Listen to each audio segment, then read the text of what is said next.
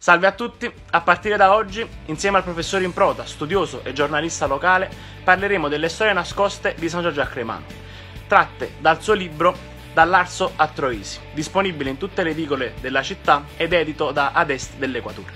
Grazie mille e buona visione. Buongiorno, mi è stato chiesto di parlare del toponimo Mario Recanati, via Mario Recanati.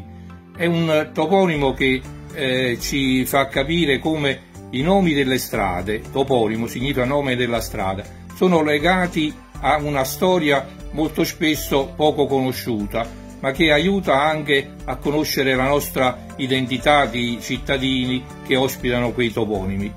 Mario Recanati, ne ho parlato nel mio libro sulla toponomastica sangiorgese, insieme con Marta la Greca, era un ebreo che è stato vittima delle leggi razziali. Un ebreo che riuscì a guadagnare molto grazie ai suoi eh, interessi nel campo della cinematografia, che allora era proprio all'inizio. Egli a fine Novecento ha portato il cinematografo nella galleria a Napoli, ha guadagnato molto e il ricavato di quei soldi l'ha investito a San Giorgio a Cremano, anche a San Giorgio a Cremano. Ha realizzato nella strada a lui intitolata, dove aveva la casa, una uh, sala cinematografica intitolata appunto a lui, che fu la prima sala della provincia di Napoli.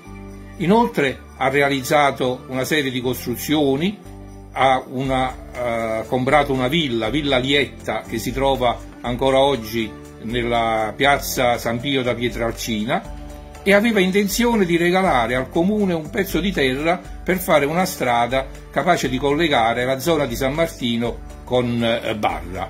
Purtroppo le leggi razziali nel 1938 gli espropriarono la villa e tutti i suoi beni, per cui questo progetto non poté essere realizzato. Reganati morì l'anno seguente, ma i sangiorgesi gli furono grati per questa sua attenzione e vollero dedicargli una strada. L'intitolarono semplicemente però Via Recanati.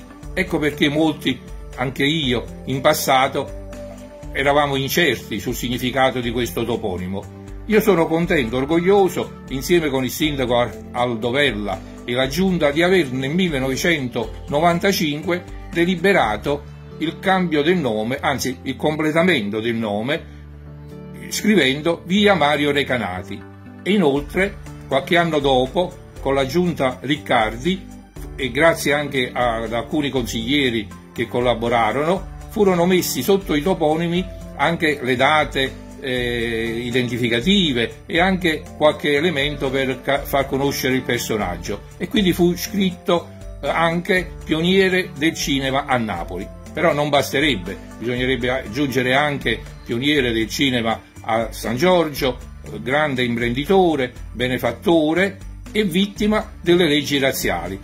Ma questo non si può scrivere in una targa, non è possibile.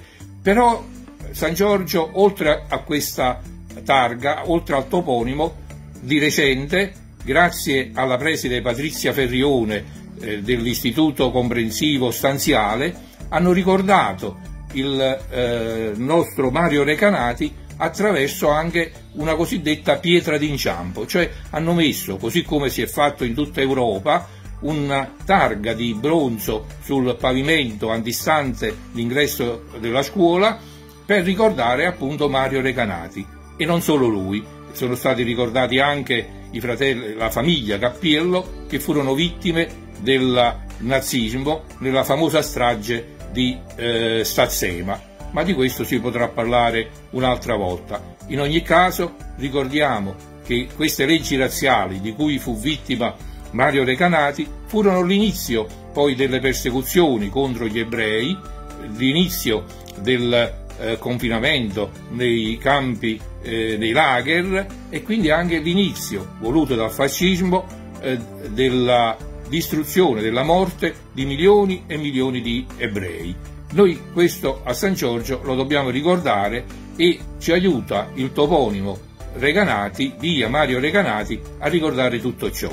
È un dovere che abbiamo ricordare per non dimenticare e per non far dimenticare anche tutto ciò ai nostri figli e nipoti.